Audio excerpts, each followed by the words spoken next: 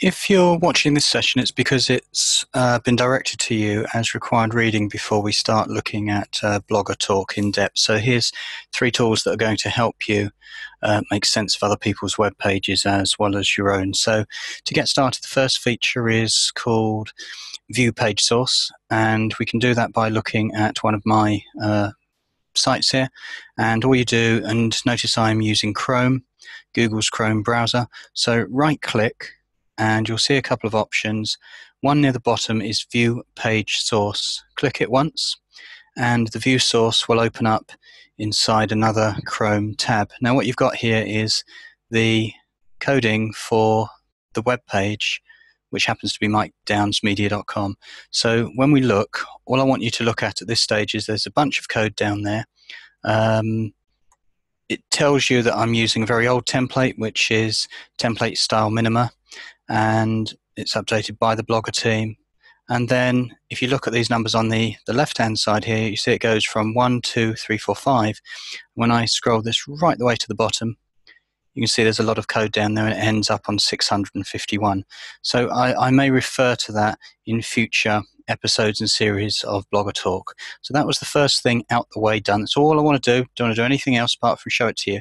Going back to the second one, and that is site colon which is really useful because you can get an idea of how much Google knows about a site immediately. So if you go to a brand new blog or a website, you think, well, how big is it? So all you do is in the top bar type site, colon, and hit enter. Then Google will have a look and report back to you, and in this case, tell us that there is only six results. Uh, this this particular holding website of mine isn't very big, so it does list, and it's, it's not very big on purpose. So you've got Mike Downes Media as the homepage, and then you've got a couple of other bits and bobs down there to say, and that's it, six done. All I want to show you. And the reason is is because I'll just go back on that one. We're getting into the the meat of this video, and that is this thing called inspect element. So really, the best place to start if you've never heard of it before. Um, Google developers have a lovely page here, which is developers.google.com forward slash Chrome Developer Tools. You can see it up, up the top here. And that is that it, it, it details everything to do with inspect element. And all I'm going to do is say it is here. I'll link you back to it, and you can have a look through. And there's some really good diagrams in here about what it's all about. Now, you do not need to be a coder, a developer. All you need to do is follow the steps that I'm about to show you. I'm not a coder. I'm not a developer. Um, it's really interesting to read though when you when you're going down here, and I'll, I'll, tell you how it looks in action. Okay, so so what we need to do is go back and say this one was inspect element. So once again, as an example, we go here and we say here is my website, which has got a, a big picture at the top, bit of text down here, a couple of um, buttons like a search bar, and I want to know um, that you can tell me what is on this page. And the way we do that, and the only way we can do it is a demonstration. And so I'm just uh, up here on the top left hand side. I'm going to right click, and the last option is Inspect Element. What opens up inside Chrome is something quite quite magical, really, and quite interesting. And that is if you hover over, say, this picture, you can see that there is a blue line at the bottom. So for an example, I'm going to right click and I'm going to say inspect the element. And the element that I'm looking at on this page is the graphic.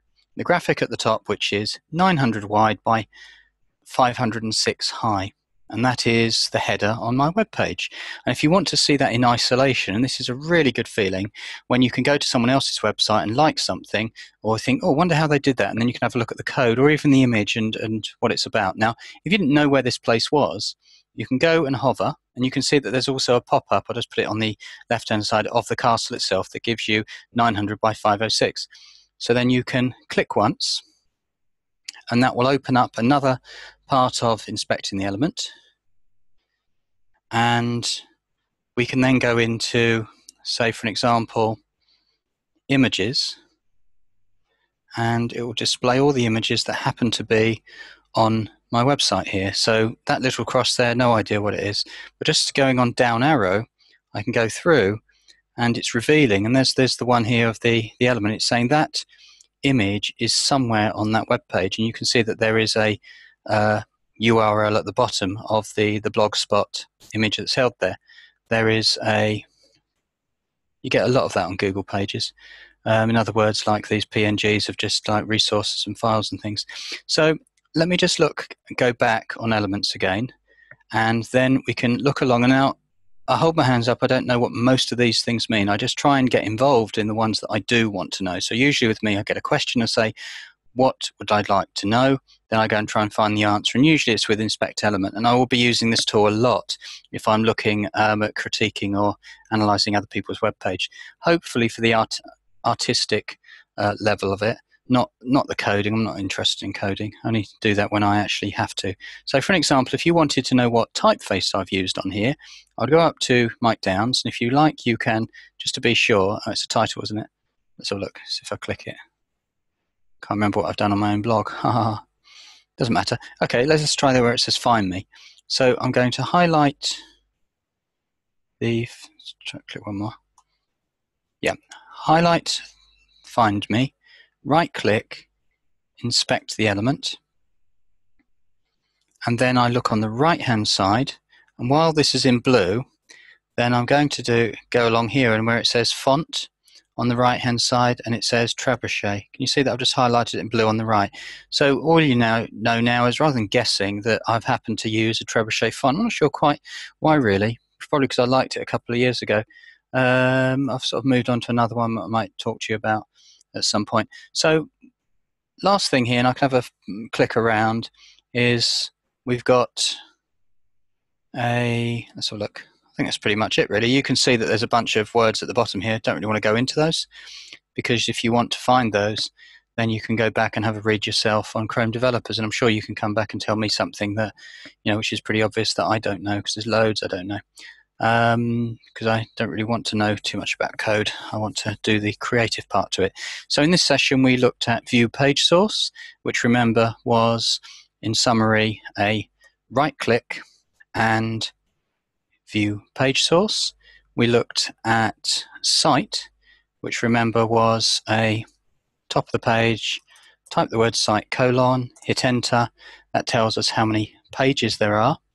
And also we looked at inspect element, which was right clicking again anywhere on the page, and that gives us inspect element. You can do a cross reference between the two of something like a combination between, say, viewing the page source and the element to, to find uh, certain things, but I'll go into that in depth later on. So this video was a required watching, shall we say, of my Blogger Talk course coming up. So, but in that time, I'll just just whiz through stuff, and I'll say if you haven't seen it, go back and watch this video, or of course, go and read the fantastic page, which is from Chrome developers, and it is something I would love to do. There's loads of stuff down here. Okay, thanks very much.